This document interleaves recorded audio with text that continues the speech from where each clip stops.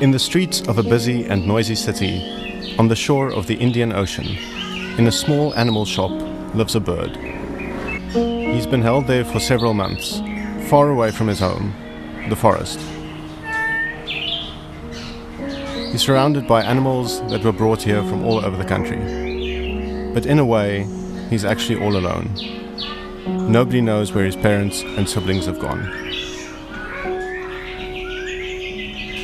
Why is this bird so special? For the past few decades, this species has been considered extinct. But recent findings show this bird still being held in captivity in several places. There is just a small amount of hope that this species, the Nias myna, will survive for the next generation.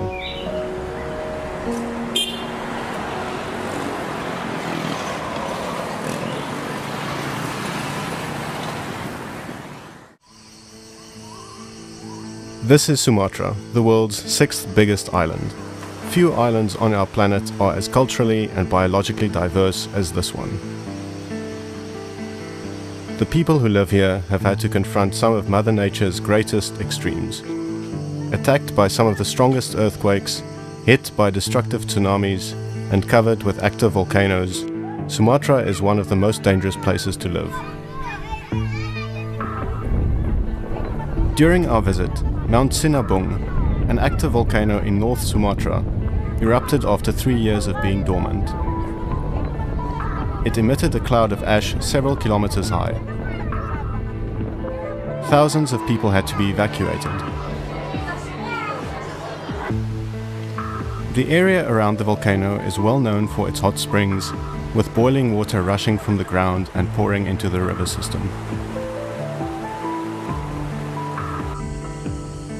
Thanks to volcanic soil filled with nutrients, the country turned into a lush green land covered with rainforests.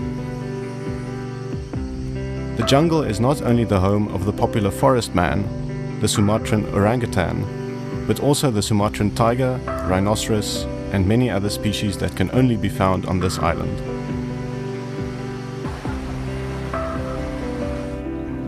The biggest lake in Southeast Asia, Danau Toba, is also located on Sumatra, with steep volcanic massifs that surround its dark blue waters. The whole lake is really a crater that was created in one of the largest eruptions on Earth, about 75,000 years ago. The native Bataks, who have lived here for hundreds of years, still inhabit this area, isolated from the world around it. Our final destination was the small island of Nias, located near the northern shores of Sumatra. The island is a magical place where time stands still and people are fully aware of the power of nature. Many of them lost family members in the tsunami of 2004 and in the powerful earthquake that followed a few months later. Although some parts of the coastline have been heavily deformed by the earthquake, one can still find beautiful, secluded beaches along the shore.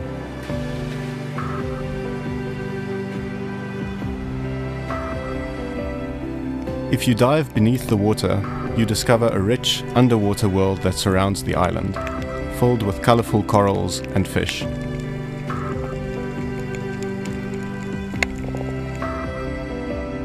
At the southern point of the island is the famous Sorake Beach, it is claimed to have some of the highest seasonal waves in the world, making it a favorite spot for surfers.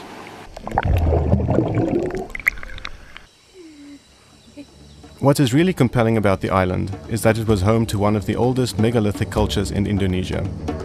It was not that long ago when the natives still performed human sacrifices and hunted the human skulls of their enemies.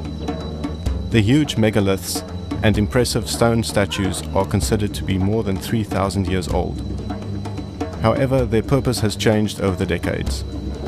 Nowadays, some of them are used as dryers for clothes or as playgrounds for children.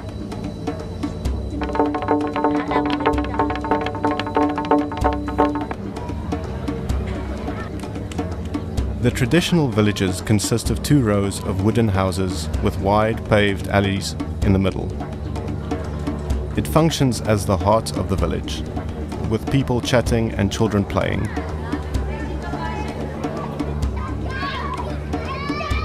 Most villages were built on elevated hills, and to get there, you need to climb many stairs made of stone.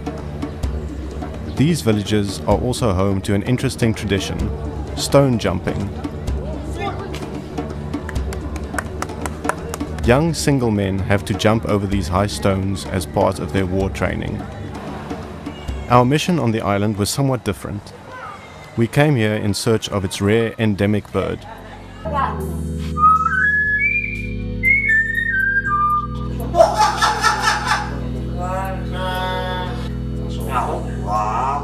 Hill Nias myna was also used as a part of traditional medicine. If there were some mute kids in uh, villages, shamans went to the forest, found the species, make a soup out of it, and because this bird talks really well, they thought and they believed that it would help to the kids who are mute. After more than 20 years of ignorance about this species, the first ISCP expedition to the Nias island confirmed that a few Nias mynas had survived, but in captivity. On August 2013, me and Thomas Busina was uh, sent to Nias to survey and monitoring about uh, Nias myna. We do travel around the south side of uh, Nias and we found many many myna but a lot of people keep the myna as a pet but we're not sure that uh, Nias myna but we also uh, believe that uh, few of them as a Nias myna that's why for this we need more time and more data also more finance for do the research Following the first survey on Nias, we visited the island again. Our mission was clear gather as much information as possible about the Nias myna. Have you ever seen the Nias myna in nature? No, never. I never seen the Gracula robusta in nature, but only in the beds, in some house. And why do the people keep this specific bird? Yeah, because uh, some people it is hobby, I think hobby, and then some people want to get some money. They buy a small uh, Gracula robusta Oh, or other Gracula, and then after can speak some word and can sing, they sell, so they get some money, some profit. And do you know some people who have this Gracula robusta as pets? Yeah, I know. And can you show me on the map which? After talking to a local guide, we learned the location of several households that could possibly be the home of the valuable bird. We traveled door to door, documenting all the mynas we could find. But surprisingly, most of the birds that were considered to be Nias mynas by their owners were actually a different species of myna.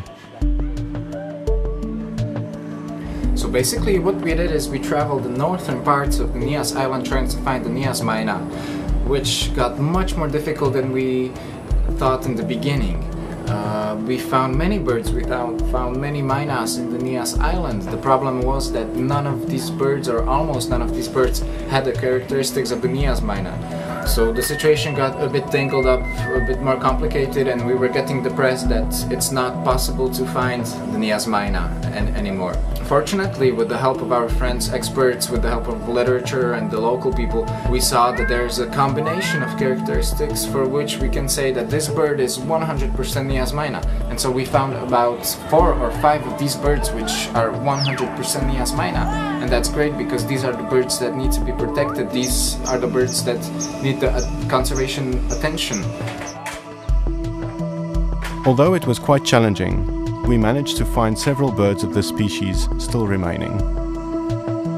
One large Nias myna was kept in the village of Gormo, located in the heart of the forests on the island.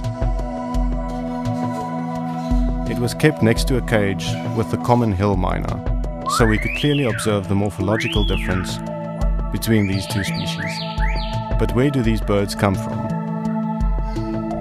To get an answer, we visited a bird owner who claimed to have seen a group of wild mynas in the forest.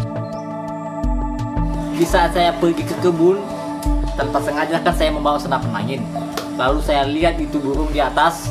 Kebetulan yang kecil ini ada di bawah, lalu saya tembak dengan senapan angin. Jatuh dan saya bawa ke rumah, saya rawat kembali. Saya ajarkan sekitar 4 bulan. Setelah dia agak bisa mengerti sedikit, lalu ada orang yang berminat, saya jual tawar-menawar dan setelah itu mereka bawa ke Gunung Stoli. Lalu saya pun tidak tahu entah mau dikemanain lagi. The man agreed to guide us to the forest and show us the location where he observed the birds. We spent the next several days wandering the forest, looking at every tree, listening to every sound, and noticing every movement, hoping that we could be the first to take a picture of a wild Nias myna. Our second guide even tried to imitate the sounds of the bird.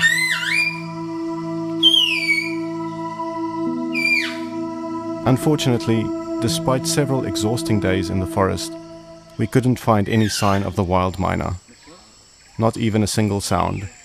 It is important for us that our team found that a lot of uh, mynas which are kept in captivity in Nias uh, have climbed origin in uh, Telo Island, which is tiny island here in the Batu Archipelago.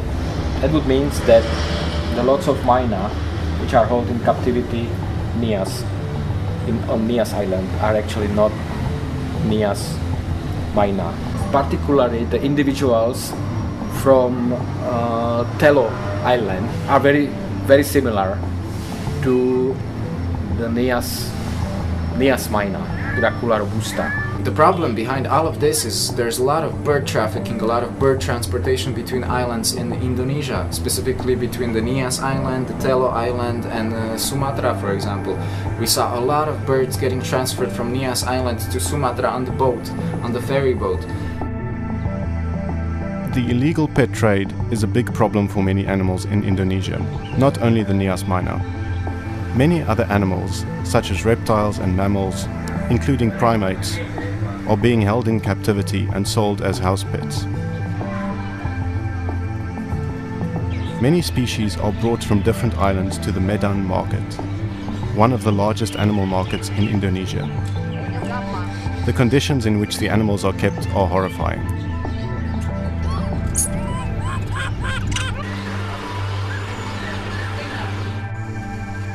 We left the Nias island for a while and arrived back in North Sumatra at the ISCP Animal Rescue Center. My main job is a zookeeper in Medan Zoo. Uh, I like animal because every day I see animal in the zoo. So that's why I like uh, doing conservation, wildlife conservation. Our first program is a Poksai project, Garrulax bicolor, and then we keep on project with the entomophagy program, and also we make uh, teaching English free for the kids around this village. And the third project now we starting with the Nias Nias Myna, uh, Gracula robusta. Now we are in the ISCP Rescue Center land and we will build uh, some cage here for Myna, Nias Myna and we will uh, we will uh, reproduce here and if we are successful we will release it back to the forest. So many NGO uh, care about and make conservation about orangutan, Sumatra tiger, or elephant here in Indonesia, or rhinoceros. But so many wildlife in the nature, even the protected or non-protected wildlife, uh, they almost forget it. So that's why we choose uh, the small species like Poksai uh, Garrulax bicolor, Latin name, and then Nias Myna, uh, Gracula robusta. So we have to save them. If we are uh, not safe, who who else uh, try to to save this species? We managed to get one of these precious birds from a restaurant owner in Nias and transferred it to the center. Once the aviaries are finished, more discovered mynas will be brought to the center to start breeding. This is the first Nias Myna that we get from Nias Island. We bring to our center. Now we put in the like small quarantine because we still building the aviary. After the maybe five days or ten days again, the aviary will be finished. We will um, transfer this bird to the aviary. Hopefully, uh, after we successful to breed this uh, Nias Myna, the next generation in Nias still can see the wild Nias Myna in Nias Forest. The Nias Myna is entering a new chapter in its history. It is in our hands to ensure the survival of this endangered species and return the symbol of Nias back home.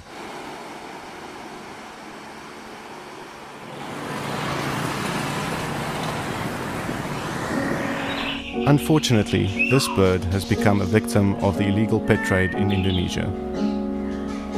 The black market scarred its health and it could not be transferred to the rescue center. Who knows how many are left, kept in cages, isolated from their home island, with no chance of seeing a member of their own species ever again.